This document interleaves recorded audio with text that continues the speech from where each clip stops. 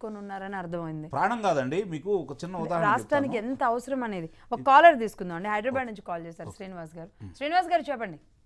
అమ్మా నమస్తే అమ్మ లక్ష్మి గారు. నమస్తే అండి. అక్కడ ఉన్న అంగమనాయుడు గారికి నమస్కారం. నమస్తే. అండి. అమ్మా ఆంధ్రప్రదేశ్ నాశనం అయిపోవడం కారకుడు కేసీఆర్.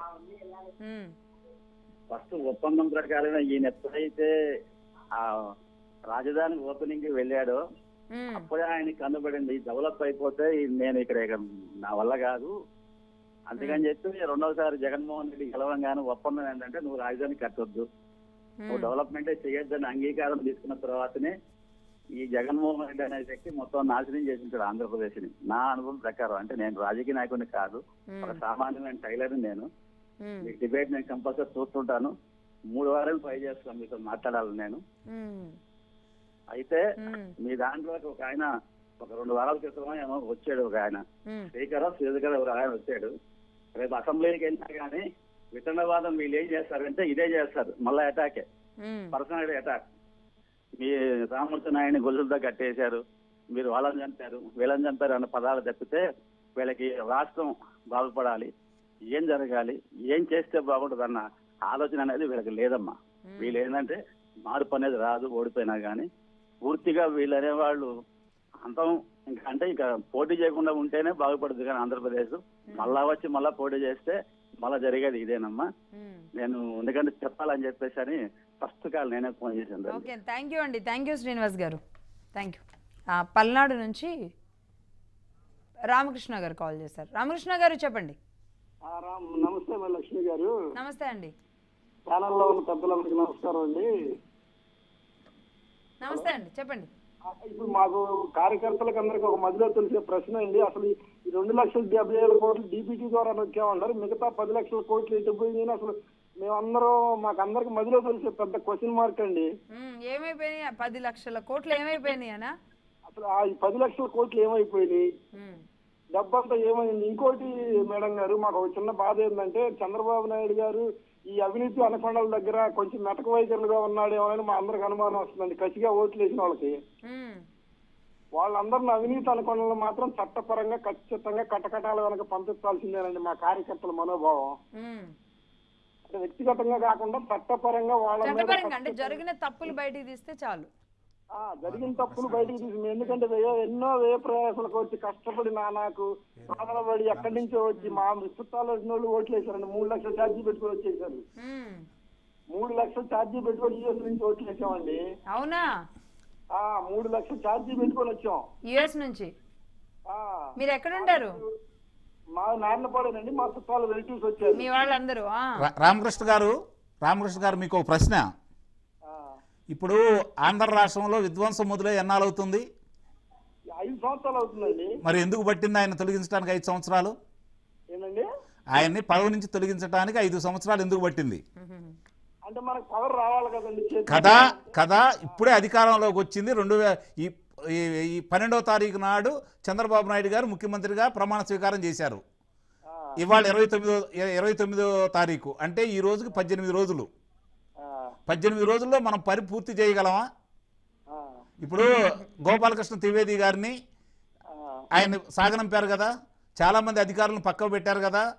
వాళ్ళ మీద విచారణ మొదలైంది కదా? ఇప్పుడు ఆ రోజు జగన్మోహన్ రెడ్డి గారు కక్ష సాధింపు చర్య తీసుకున్నారు ఇలాంటి విధ్వంసం చేశారనే కదా మీరందరూ తెలుగుదేశం పార్టీని మళ్ళీ అధికారంలో తీసుకొచ్చింది? కాదు సార్ మేము అంత కష్టపడి చేసాం ఏంటంటే వాళ్ళకి అట్లా చెప్తే వినే మనుషులు కాదు సార్ అంటే వాళ్ళు. ఆ, కా- సమయ దానికి దానికి నిస్సందేహంగా ఉంటుంది. మీ బాధ అర్థం చేసుకున్నాం కానీ ఇక్కడ జరుగుతున్నది ఏంటంటే దాంతో పాటు మనకు పనులు కూడా జరగాలా వద్దా? ఖచ్చితంగా. క- ఖచ్చితంగా అభివృద్ధి ఉండాలి సార్. వీళ్ళ మీద ఖచ్చితమైన చట్టపరమైన చర్యలు ఉండాలి సార్. చే- నిస్సందేహం చట్టపరమైన నిస్సందేహంగా ఉంటే అదే విధంగానే వెళ్తున్నారు. చంద్రబాబు నాయుడు గారు అలా ఉండబట్టే ప్రపంచ ఖ్యాతి సాధించారు. అట్లానే వెళ్తారు. మీ ఆశలన్నీ నెరవేరుతాయి. నిస్సందేహంగా మీరు కోరుకున్న విధంగానే జరిగింది తప్పు చేసిన వాళ్ళు అయితే చట్టం నుంచి తప్పించుకోలేరు కరోనా వచ్చిన కరోనా వచ్చినప్పుడు కూరగాయలు మా ఎన్ని పంచుతున్నా కూడా మా మీద కేసులు పెట్టారు సార్. కూరగాయలు పంచుతుంటే కరోనా అప్పుడు ప్యాకింగ్ చేసి మా మీద కేసులు పెట్టారు లోకేష్ అనే వ్యక్తి ప్రజా దర్బార్ ఏర్పాటు చేశాడు మీకు జరిగిన అన్యాయాలన్నీ ఆయనకి చెప్పండి తీసుకెళ్ళి కాగితం రూపాయన ఇవ్వండి ఆ, మా కడుపులో మండిపోవాలి సార్ మేము కరోనా టైంలో మూడు వందల రూపాయలు కిట్లు పంచుతుంటే మా మీద కేసులు పెట్టారు సార్ వీటన్నిటికి సమాధానాలు దొరుకుతాయి రైట్ రైట్ అండి. రైట్ రామకృష్ణ గారు అంటే ఇక్కడ పగలు ప్రతీకారాల కోసం ప్రభుత్వాలు పనిచేసినప్పుడు ప్రజలు భయభ్రాంతులకు అయితే నిస్సందేహంగా. అది అది వైసీపీ నాయకులైనా కావచ్చు ఆనాడు వంద రూపాయలకో వెయ్యి రూపాయలకో వాళ్ళకి ఇచ్చిన చిన్న చిన్న దానికో వాళ్ళు వచ్చి కర్రలు పట్టుకొని నేను కూడా విన్నానండి స్వయంగా నాకు తెలిసిన వాళ్ళు కాల్ చేసి చెప్తున్నారు టీడీపీ వాళ్ళు వచ్చారు అనేదో అంటే తీయండి కర్రలు తీయండి కొట్టేసేయండి దొరికిన వాళ్ళని దొరికినట్టు అని. లైక్ నేను విన్నాను ఒక ట్రాన్స్పోర్టేషన్లో వెళ్తూ ఉండంగా. అంటే ఇంత దారుణంగా దాడులు జరిగినాయా అంటే జరిగినాయి. అంటే వాళ్ళు ఏమనుకున్నారంటే పడ్డ పడ్డారు బాధలు పడ్డారు అన్ని రకాలుగా. వాళ్ళు రివర్స్ అవ్వాలనుకుంటున్నారు. వాళ్ళు ఏమనుకున్నారంటే భయభ్రాంతులకు గురి చేసేసి ఓటింగ్ రాకుండా నిలబడే నాయకులు లేకుండా చేయాలని చేయాలని. అంటే ఏ అంశం తీసుకున్నా ఇంకా కొట్టేయడమే. అవును. కొట్టేయడమే తీసుకున్నారు. పోలీసులు కూడా పట్టించుకోరు కాబట్టి. రైట్ అండి. హనుమాన్ జంక్షన్ నుంచి ప్రసాద్ గారు ఉన్నారు. ప్రసాద్ గారు. నమస్తే మేడం. సార్ నమస్తే సార్. నమస్తే అండి. నమస్తే అండి. యాక్చువల్గా వైసీపీ వాళ్ళు ఎంత పెద్ద మేధావులు అంటే. ఒక మంత్రి గారేమో ఇవి ఇప్పుడు అవుద్ది అప్పుడు అవుద్ది అని మూడు సార్లు ఆయన పదవి పోయేదాకా డేట్ చెప్పుకుంటూ వచ్చారు. రెండో మేధావి ఆయన నీటిపారుదల శాఖ చేసిన అమ్మటి రాంబాబు గారేమో అసలు నాకు అది అర్థం కాలేదన్నారు అర్థం కాలేదన్నప్పుడు వీళ్ళకి మంత్రి పదవులు దేనికండి. రిజైన్ చేసి నాకు అర్థం కావట్లేదు అని చెప్పి పక్కకు పోవాలి ఫస్ట్ పాయింట్. తర్వాత నష్టం అంటే ఇన్నాళ్ళు చంద్రబాబు నాయుడు గారు నిన్న శ్వేతపత్రం విడుదల చేసిన దాకా మాకు అర్థం కాదు ఏంటంటే నష్టం అంటే డ్యాము పాడవటం వల్ల నష్టం జరిగింది అనుకున్నాం కానీ దాని మీద వచ్చే ఆదాయం ద్వారా ఎంత నష్టం జరిగేది అనేది నిన్న ఆ సారు చెప్పేదాకా చాలా మందికి తెలియదండి. అలాగే- ఆ నష్టాన్ని భర్తీ చేయడం అయితే సాధ్యమయ్యే పని కాదు. సాధ్యం కాదండి. Two and half years time పోయింది దాని ద్వారా పోలంత ఇన్కమ్ పోయింది సార్. అలాగే ఇప్పుడు ఇసుక అనేది చంద్రబాబు నాయుడు గారు ఫ్రీగా ఇచ్చారు కదండి. ఫ్రీగా ఇచ్చిన దాని మీద నష్టం జరిగింది రాష్ట్రానికి ఆదాయం తగ్గింది అని ఎట్లయితే చంద్రబాబు నాయుడు గారి మీద కేసు పెట్టారో ఇప్పుడు ఈ జరిగిన నష్టానికి వీళ్ళందరినీ అధికారుల్ని పాత సీఎం జగన్మోహన్ రెడ్డిని అలాగే ఈ ఎవరైతే ఇరిగేషన్ మినిస్టర్ల కింద చేశారో వాళ్ళిద్దరిని కూడా బాధ్యులు చేస్తూ ఆ నష్టాన్ని వాళ్ళని వసూలు చేసి వాళ్ళని కూడా ప్రాసిక్యూట్ చేయాలండి. లేని ఇసుక నష్టానికే చంద్రబాబు నాయుడు గారిని జైల్లో పెడితే వీళ్ళు కూడా పెట్టాలి కదండి తప్పకుండా. ఇవన్నీ కూడా సీరియస్గా తీసుకోవాల్సిన విషయాలేనండి. ఫస్ట్ వాళ్ళకి అసలు ఎంత మేధావి అంటే వీళ్ళంతా వైసీపీ వాళ్ళు. పొలం పట్టిసీమ కట్టి పట్టిసీమ ద్వారా రాయలసీమకు నీళ్ళు ఇస్తామంటే వీళ్ళ ఆలోచనలు ఎలా ఉంటాయి అంటే పట్టిసీమలో కడితే ఈ కాలం అక్కడ దాకా వెళ్తుంది కదా నీళ్ళు అక్కడికి ఎలా వెళ్తాయి అనుకుంటారు.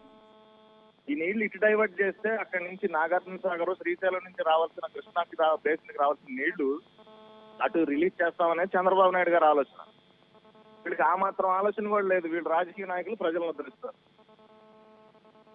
ఇంకో పాయింట్ ఏంటంటేనండి ఇప్పుడు పది లక్షల కోట్లు అప్పు తెచ్చారనేది నిజమైతే కనుక జగన్మోహన్ రెడ్డి గారు స్వయంగా నేను ఓట్లు అయిపోయిన తర్వాత ఓడిపోయిన తర్వాత నేను రెండు లక్షల కోట్లు జనాలకి పంచాను బటన్ నొక్క అన్నారు. మరి మిగతా డబ్బు ఏమైంది? ఇందాక సార్ అడిగినట్టు కూడా రైట్ అండి. సార్ చెప్తారు కదండి.